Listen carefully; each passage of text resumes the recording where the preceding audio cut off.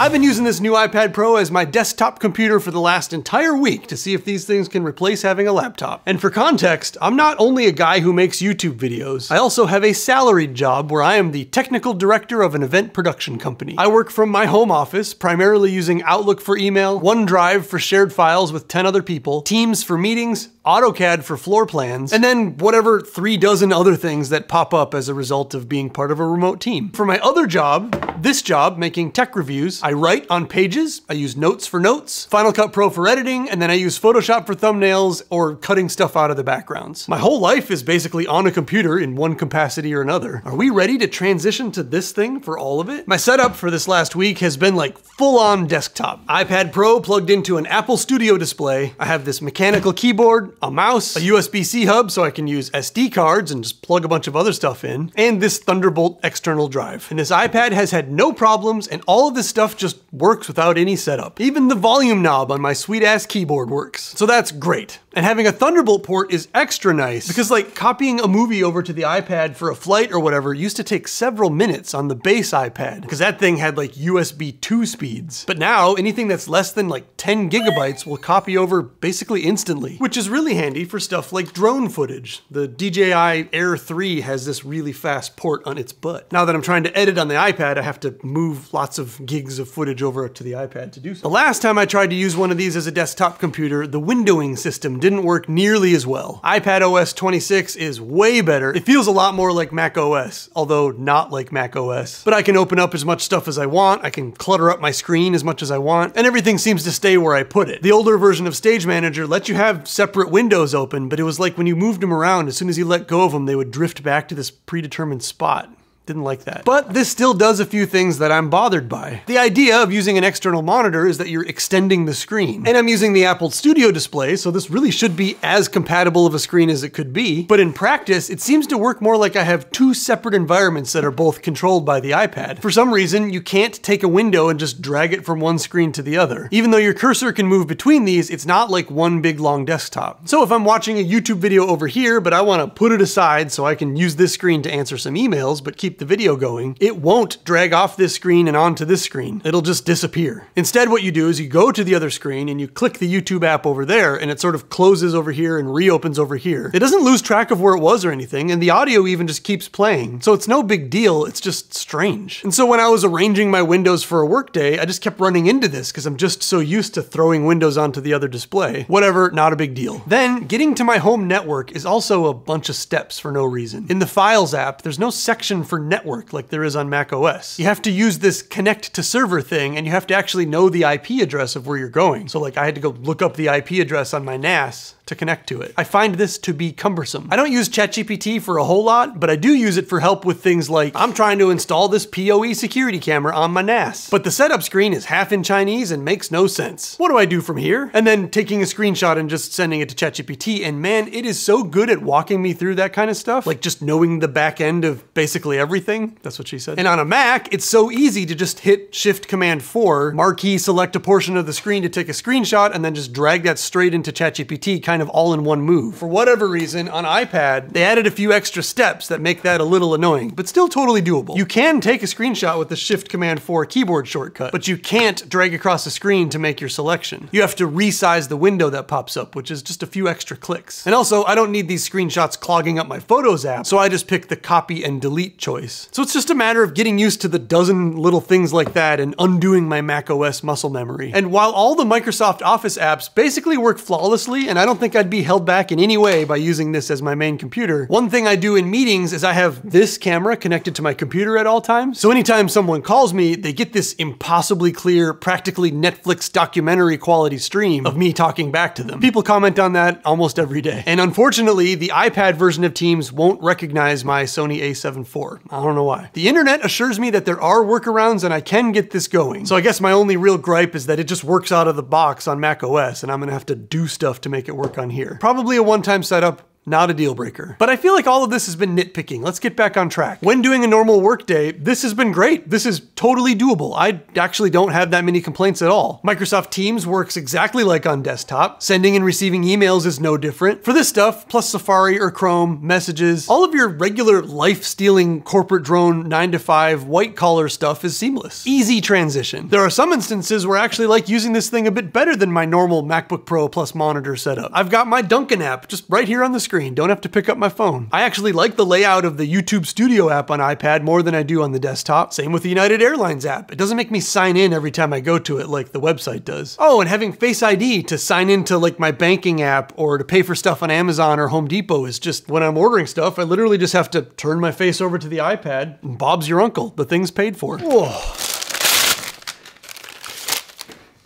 A whole day has gone by since that last cut. Where was I? Right. When someone sends me an email and it's got a floor plan on it because they're asking me whether or not they can hang a chandelier in this booth. There's a 30 foot high ceiling. It's a temporary tent on South Beach. On iPad, it is so much easier just to zoom into the right part of this picture, take a little screenshot, and then make little notes with the pen explaining why this is okay versus doing that whole thing with the mouse on Mac OS. It's the same story if something needs a signature. Can you believe a signature is meaningful in any capacity in 2025? You can literally copy and paste them off a document. But whatever, people ask me to sign stuff sometimes, and with Apple Pencil, it is just so easy to download a PDF, sign my thing, hit OK and send it back. This screen is so ridiculously responsive to the Apple Pencil. What you're seeing right now is not helpful for this example because I'm shooting this video in a cinematic 24 frames per second, and this screen refreshes like five times faster than that, but it is so nice to scribble on. It is so immediately responsive. Anyway, having a pen turned out to be great. One of those things I didn't even realize I wanted, but then I ended up using it every single day. But I have a pretty specific job where I have to explain whether or not things will work, often by scribbling on AutoCAD floor plans, so I understand if this isn't something people might regularly use. The Files app works mostly like Finder, although on my Mac, I am someone who just lets my desktop get loaded up with things, and then I use Command Spacebar Search to find pretty much everything, or just open a window and sort by date date, but since this doesn't have desktop, I'm forced to be a little more organized with where I put things. But that's just another personal quirk I'd have to unlearn if I'm gonna switch from my MacBook to an iPad full time. The point is, I'm not really held back by this. If someone emails me a document, I can save it easily. I can get to it pretty easily. I can drag and drop it into other places fairly easily, until I get to Photoshop. Photoshop is buggy as hell. I suppose this isn't Apple's fault, but man, you'd think after whatever seven versions of an OS, they'd have it figured out. When connected to an external display, Photoshop just goes bonkers some of the time. What you're seeing here, I was just moving the mouse around. I wasn't doing anything. And then regular Photoshoppy things like, I don't know, drag this picture of Joey onto this working document. Doesn't work, can't do it. But then some things work super well compared to the desktop version. Like it is so very easy to trace around stuff using Apple Pencil compared to a mouse, which used to be a big part of my own photoshopping, but now all these tools where you just whammo and remove the background out of any picture, they work so well that I don't really find myself tracing things that much anymore. But what I mean to say is I can make my thumbnails on the iPad. Mine aren't very complex anyway, but I do prefer the desktop version of Photoshop. You can grab pictures from web pages and just drag them into a folder to save them. AutoCAD is another total redesign and I had a bit of a tough time just picking it up because I have so many years of muscle memory on the desktop version. I will say with this device, it's incredible to be able to just walk around on site with a living floor plan in my hand that I can zoom into and get measurements of anything. The interface is so super smooth and responsive and it's just good at being a live floor plan in my hands. Using paper maps now almost feels antique. Interestingly, the UI in the iPad version is much smoother than on the desktop. Again, another thing you can't see on this YouTube video because you can't see the refresh rate, but this is super smooth, the 120 hertz screen. But editing stuff, like actually creating one of these kind of dense floor plans on the iPad is cumbersome. For whatever reason, there are so many apps on iPad that don't let you use Command C, Command V to copy and paste stuff. That's so odd. But again, this was completely doable. I actually literally did work on this all week, even on AutoCAD. I didn't make any plans from scratch during this last week. I just didn't happen to have to, but I did do plenty of editing things and took lots of measurements and generally wasn't held back. I just find it annoying that if I want to make another piece of truss, I have to touch that, touch copy on here, drag to a starting point, tap that to to confirm, drag down to the copy point, tap that to confirm, and then I got my new thing. I'll bet there's faster ways to do stuff. I just don't know how to do it yet on the iPad version because for some reason they rewrote the program and won't let my keyboard shortcuts do the normal things. And I would say AutoCAD is the most demanding thing that I normally do on a computer other than video editing, which takes us to Final Cut Pro. Why, Tim Cook? Someone show this to Tim Cook. Why is Final Cut Pro iPad this way? Did anybody realize I switched glasses?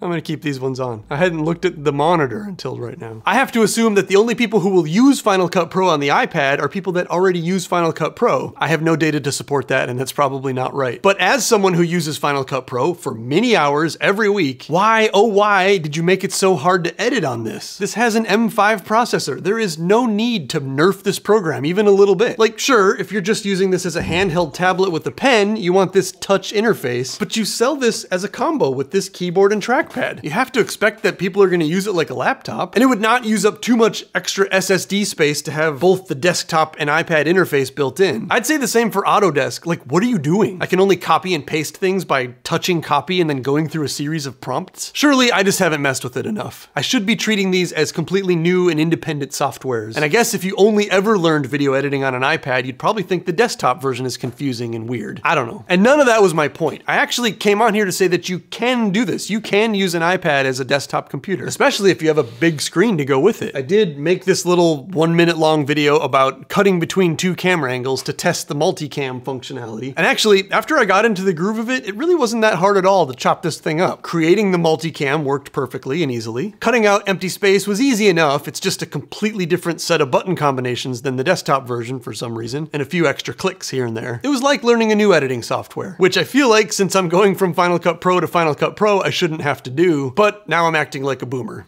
Get off my lawn. And I will maintain that the Magic Mouse, for all of its flaws, is simply the best editing mouse you can get. I know that's a little unrelated to what I was talking about, but sideways scrolling through a timeline with just a finger swipe is just so valuable while video editing. Get a Magic Mouse. iPad sees this mouse and pairs with it just fine. I was slower than normal, and then I did have to convert it and move it over to my Mac so I could add animated titles and do magnetic masking. So I would not be able to make my normal videos with just the iPad Pro. They left some stuff out that I use on every video. And not only did they leave the magnetic mask out of the iPad version of Final Cut Pro for some reason, but on the iPad page of Apple's own website, they brag about DaVinci Resolve's Magic Mask, which is the same thing. It's nuts. The other thing is that I can't use third-party plugins. I use some Motion VFX plugins for my animated titles. So I can't use third-party plugins. I can't use several of the normal keyboard shortcuts. B for Blade Tool, Nope. Hold Option and drag to make a copy of a clip? No way, man. Can't do that. I did find a way to put custom fonts in there. Actually, ChatGPT told me. If you download this program called AnyFont,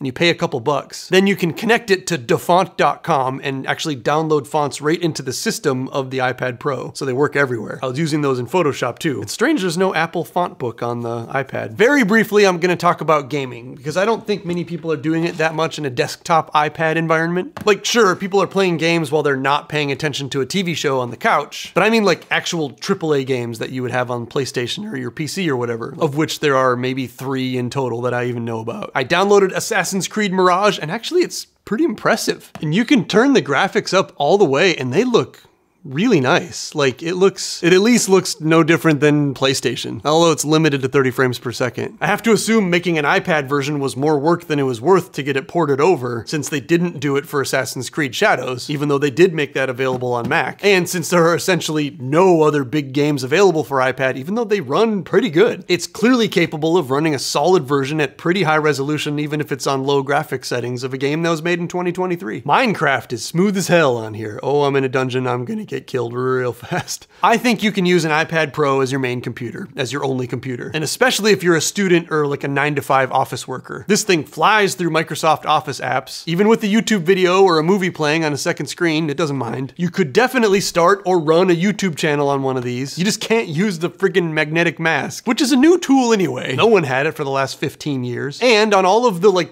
bundled effects and titles websites, it does say iPad version coming soon. So they are working on that. It's all getting fleshed out right now. Having a camera on the back is occasionally handy. And of course, the fact that it is your tablet. You don't also need a tablet. If you don't fly a lot, maybe you don't know, but they don't make you put away an iPad on the plane while you're taking off, but they do make you put your MacBook away. And fun fact, the 13 inch iPad compared to a MacBook Air, I mean, if anything, it's chunkier. It's literally kind of the same exact thing. These are arguably the same handheld device. Gotta put this away when you take off. Don't gotta put this away when you take off. And since I'm holding this thing, almost everything that I've said today is true for the iPad Air. This is the 13 inch iPad Air, bigger screen. This thing's missing the LiDAR sensor on the camera, so you can't scan things in 3D, which is not very common to do. But as far as processor speed, the M5 versus the M3, yes, the M5 is way faster than the M3, but that is not something you notice on an iPad. You can use Final Cut Pro on this exactly the same way. In fact, I don't know of any program, I guess maybe games might have a, some lower settings, and I suppose export